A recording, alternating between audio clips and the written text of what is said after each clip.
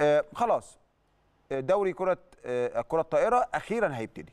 طبعا بعد يعني عناء تخيلوا اللعبة الوحيدة اللي الدوري بتاع بتاع بتاعها بيبتدي في ديسمبر. بكرة أول مباراة لفريق الكرة الطائرة مع الإعلاميين على صالة الأمير عبد الله الفيصل بمقر النادي الأهلي بالجزيرة. النادي الأهلي في الدوري أربع مجموعات.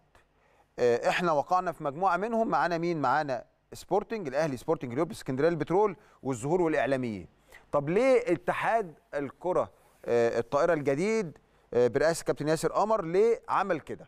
عمل كده لأنه لو ساب الدوري آه، مجموعة واحدة هياخد مزيد من الوقت. طب ده الوقت هياخد من وقت مين؟ هياخد من وقت إعداد المنتخب في بطولة العالم. وبنفكركم النادي الأهلي هو حامل لقب بطولة الدوري السنة اللي فاتت بعد ما فاز على الزمالك في المباراتين ذهابا وايابا ويمكن كان أصعبهم الذهاب لأن إحنا كنا خسرانين مباراة من بتروجيت.